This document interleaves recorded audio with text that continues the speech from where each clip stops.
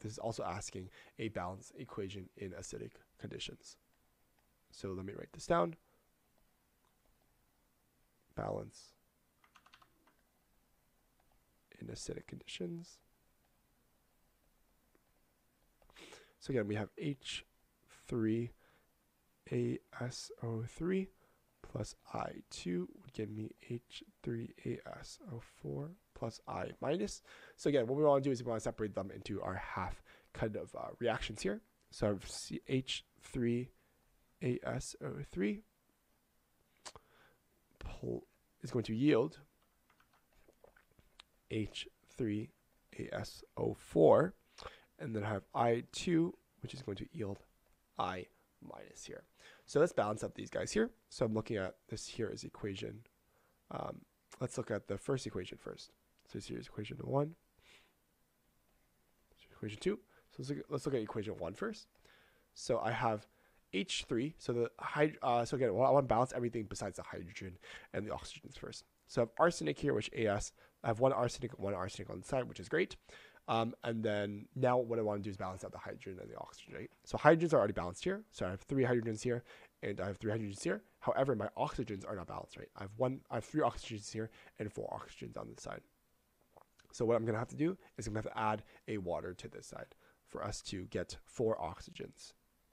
So I have H3ASO3 plus 1 H2O. This would give me four oxygen total. 3 plus 1 is 4 I'm going to yield H3ASO4.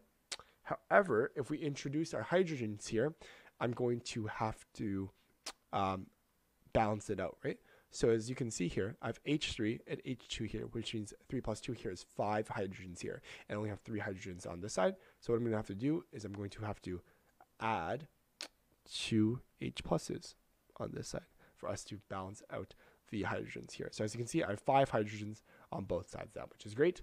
But now we have another issue, which is the charges, right? The charges here are off, right? I have a 2 plus charge here and a 0 charge here. So I want to make this a um, a zero charge. So if I want to do that, I simply have to add two electrons to the side to balance out the charges, right? So I can add two electrons to the side. And this will be a balanced um, half reaction for this arsenic part first. And then what I can do now for number two is I can balance out the second half reaction here. So if I2, oh, let me do this in black. I have I2 to I minus. So first what I'm going to do is going to balance out all the elements that are not hydrogen oxygen. In this case, just, we only have iodine. We have two iodines on the side and one iodine on the side. So we just simply have to add a 2 to the side to balance out the iodines first. And as you can see here, I have now a 2 minus charge on this side here and a 0 charge here. So I'm going to have to add electrons to my left side to, for us to balance out those charges. And what I can do is I can add two electrons to the left side, right? So let me modify this. And I can say I can add two electrons to this side here. So now both of these guys, my charges are balanced, right? I have a 2 minus charge on this side and also a 2 minus charge on this side. So this is good. So what we can do now is we can look at both our reactions here. We can look at the products. We can look at what what can we what can we cross out here, and as you can see here, we can cross out the electrons, right? So the two electrons can go away from this side, and the two electrons can go away from this side and I believe that is it for those uh, for that kind of half reaction. So what we could rewrite here is we could rewrite our finally our balanced chemical equation. So we have H3 ASO3 plus H2O and plus our I2 here is going to yield H3 ASO4 plus I have two hydrogens here and then plus two i minus c is here plus 2 i minus c here. And this is going to be my um, balanced chemical equation in acidic conditions.